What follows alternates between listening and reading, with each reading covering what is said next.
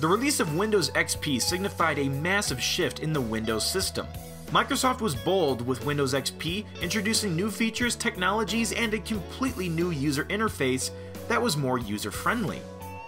The famous Start menu received its first major overhaul in Windows XP. It featured a two column view with recent apps on the left side and other items on the right, and there was still an All Programs view that a user could use to see other software installed on their computer. The new default theme was named Luna, and that was this blue appearance that users could see across most of the interface. This more colorful approach to the interface was much more user friendly as opposed to the gray looks on the previous systems. These task panels were a feature experimented with in Microsoft Neptune, and they made their way into Windows XP. Users could get quick access to features that related to certain folders. The new Explorer introduced a film strip view, which gave users higher res previews of files such as images. An automatic slideshow function was also included, and a rotate picture button was also included in the Explorer if a user needed to rotate an image.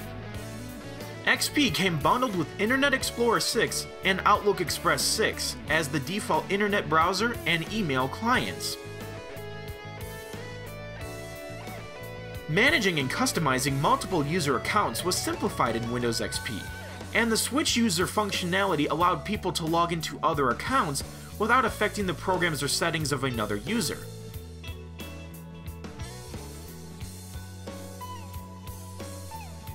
The font smoothing technology known as ClearType was introduced in Windows XP. This rendered fonts a lot more smoothly, and fonts looked a lot better on newer screens like LCDs. In addition to the Luna theme, Windows XP still had the classic Windows style and some other colors like silver and olive green. A convenient task panel shortcut was the Set as Desktop background link.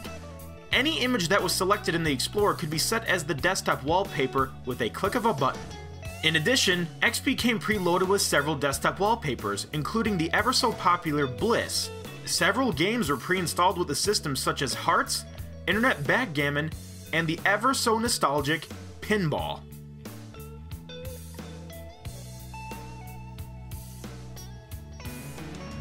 XP was also the first version of Windows to introduce the Windows Product Activation. This was part of an effort to reduce piracy. The previous consumer-friendly version of Windows was Windows Millennium Edition, and that was not based off of Windows NT technology. However, XP was. With XP, Microsoft got the NT standard in the hands of many more users, and that was imperative for the future success of future versions of Windows. So there you have it. A quick tour of the long-lived Windows XP.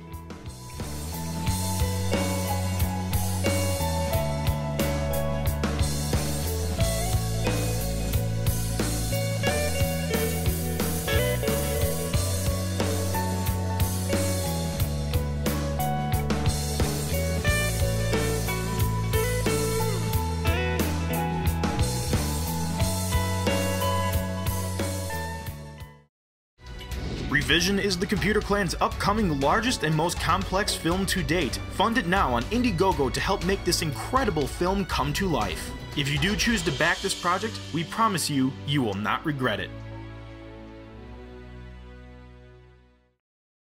ClearType, a new smart-foothing tech... Smart-foothing?